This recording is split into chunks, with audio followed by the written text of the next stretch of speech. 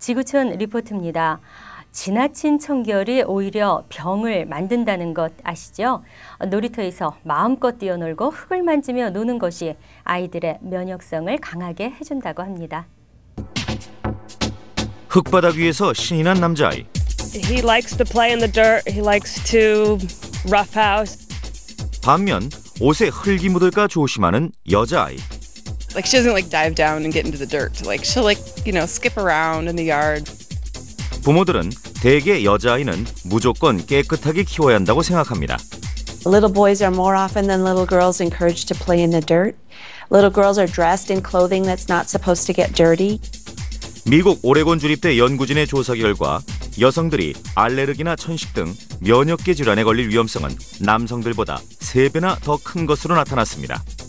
So lupus, women outnumber men 9 to 1. 어릴 때 지나치게 깨끗한 환경에서 자란 탓입니다. there is some thought that that getting exposure to even things such as parasites and and different microbial you know, elements in the dirt uh, might actually improve the overall immunity that a child develops. 지나친 청결은 심장 질환 위험도 높입니다. 미국 노스웨스턴대 연구진은 필리핀에서 태어난 신생아 3천여 명의 성장 과정을 추적했습니다.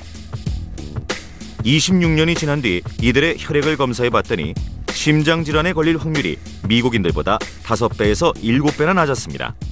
Finding is, is has more to do with the kind of day-to-day pathogens that you come in contact to, sort of germs in the environment, germs that you might encounter in, in dirt and, and you know in, within your household, that might actually have some beneficial effects long term. 흙먼지도 많고 위생 관리도 허술한 성장 환경이 오히려 득이 된 겁니다. But we always tell parents that children are going to get dirty. That's part of the work of childhood.